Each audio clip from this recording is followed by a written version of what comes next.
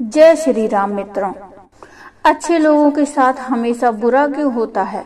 गीता में भगवान कृष्ण ने दिया है अर्जुन को इसका जवाब।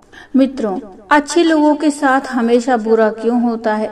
वहीं जो लोग बुरे कर्म करते हैं और अज्ञान की राह पर होते हैं, वो खुशहाल देखते हैं।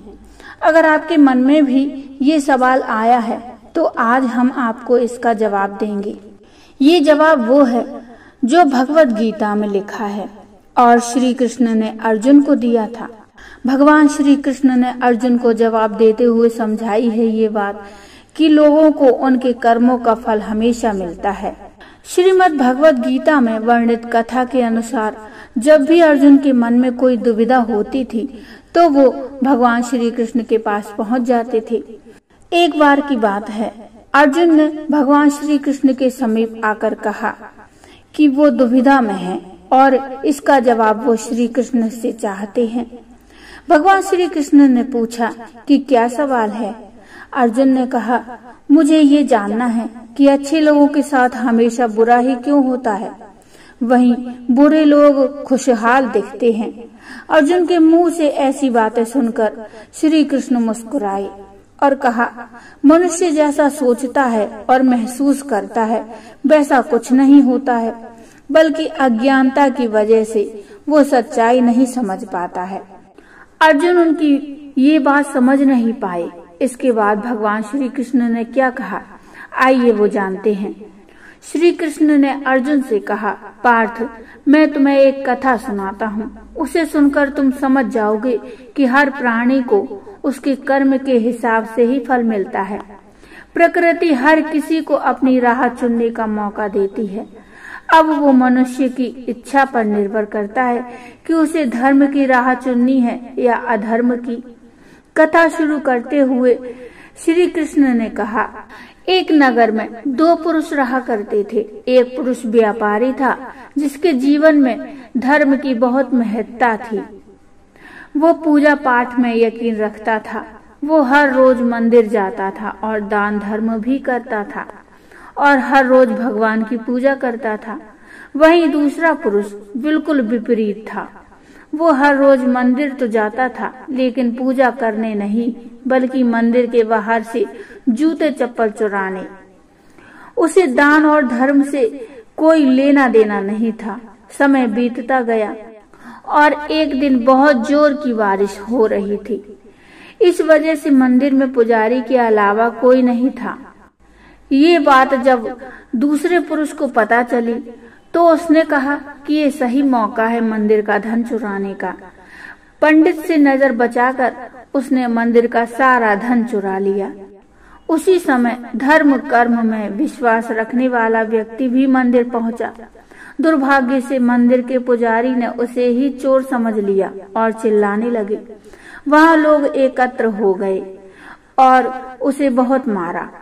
किसी तरह वो बचते बचाते वहाँ से निकला तो दुर्भाग्य ने उसका साथ वहाँ भी नहीं छोड़ा।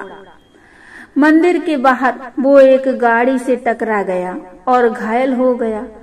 फिर वो व्यापारी लंगड़ाते हुए घर जाने लगा तो रास्ते में उसकी मुलाकात उस पुरुष से हुई, जिसने मंदिर से धन चुराया था। उसने कहा, आज तो मेरी किस्मत चमक गई। एक साथ इतना सारा धन मिल गया। यह सब देखकर उसे बहुत बुरा लगा और उसने अपने घर से भगवान की सारी तस्वीरें निकाल दी। कुछ सालों बाद दोनों ही पुरुषों की मृत्यु हो गई। मरने के बाद जब दोनों यमराज की सभा में पहुँचे और भले पुरुष ने दूसरे व्यक्ति को देखा तो उसे बहुत गुस्सा आया। उसने क्रोधित होकर यमराज से पूछ ही लिया, मैं तो हमेशा अच्छे कर्म करता था, दान में विश्वास रखता था। उसके बदले जीवन भर मुझे अपमान और दर्द ही मिला, और इस व्यक्ति को नोटों से भरी पोटली आखिर ऐसा भेदभाव क्यों?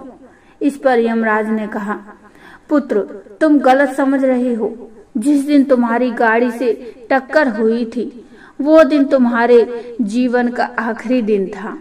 परंतु तुम्हारे अच्छे कर्म की वजह से तुम्हारी मौत सिर्फ़ एक छोटी सी चोट में बदल गई। तुम इस दुष्ट व्यक्ति के बारे में जानना चाहते हो। दरअसल इसके भाग्य में राजयोग था, मगर इसके कुकर्म और अधर्म की वजह से वो सिर्फ़ एक छोटी सी धन की पोटली में बदल गया। कथा सुनाने के बाद भगवान श्री कृष्ण अर्जुन से कहते हैं, पार्थ, क्या अब तुम्हें तुम्हारे सवाल का जवाब मिल गया? ऐसा सोचना कि भगवान तुम्हारे कर्मों को नजरअंदाज कर रहे हैं। ये बिल्कुल भी सत्य नहीं है। भगवान हमें कब क्या किस रूप में दे रहा है, मनुष्य को समझ में नहीं आता है। मगर आप अच्छे कर्म करते रहें तो भगवान की कृपा हमेशा बनी रहती है। इसलिए अपने अच्छे कर्मों को बदलना नहीं चाहिए। क्योंकि उसका फल हमें इसी जीवन में मिलता है। इसलिए मनुष्य का फ़र्ज़ है कि वो हमेशा अच्छे कर्म करते रहे। क्योंकि श्री कृष्ण ने गीता में भी बताया है कि किसी के द्वारा किया गया कर्म बेकार नहीं जाता, चाहे वो अच्छा हो या बुरा। तो बोलिए, जय श्री राम, जय श्री कृष्ण। मित्रों ये छोटी सी कथा आपको कैसी लगी, मुझे कमेंट में बताइए। कमेंट में जय श्री राम, जय श्री कृष्ण अवश्य लिखिए। कथा अच्छी लगी हो तो लाइक करिए और चैनल को सब्सक्राइब कर लीजिए। मिलते हैं एक नई कथा, नया प्रसंग लेकर। तब तक के लिए जय श्री राम।